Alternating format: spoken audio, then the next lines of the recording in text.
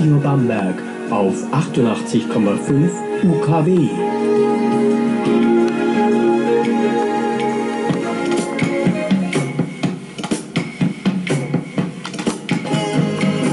So schnell geht das. Das war's schon wieder für heute, unser Fall.